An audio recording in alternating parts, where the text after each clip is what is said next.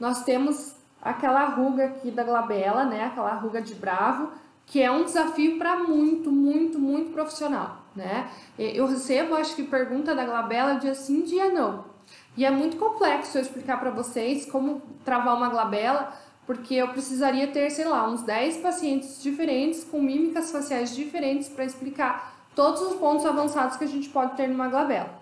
Mas a gente tem que pensar no músculo corrugador, que é o principal formador da ruga da glabela, tá?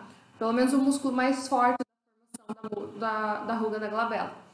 Ele tem os, a, a sua origem no osso, tá? Então a origem dele é no osso, bem aqui assim, ó, bem no, no comecinho da sobrancelha.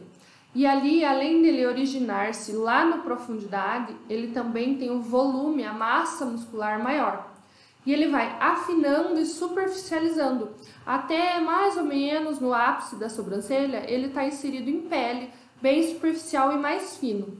Pensando nisso, a gente já sabe, fazendo uma correlação, a gente já sabe como aplicar essa toxina onde tem que ser profundo, onde tem que ser superficial, onde eu tenho que cuidar com o bisel da agulha, né?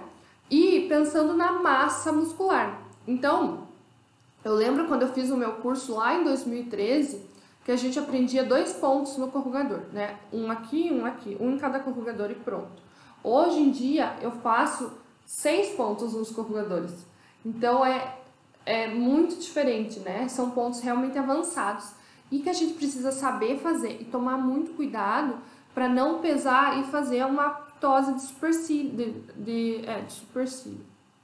Então, se eu pesar muito, eu faço isso aqui, ó. Eu baixo a sobrancelha do meu paciente e ele fica praticamente com o olho fechado.